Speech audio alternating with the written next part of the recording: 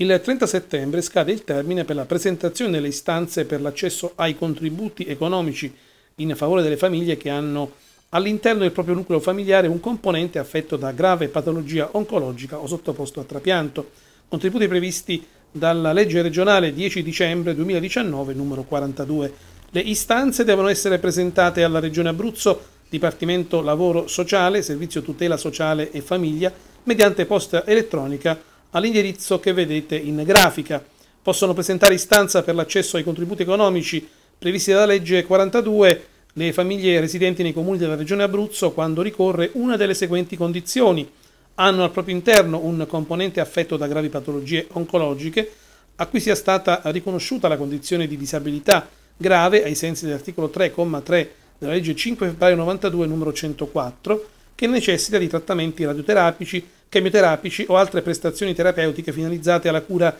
delle suddette patologie in strutture autorizzate dal Servizio Sanitario Nazionale.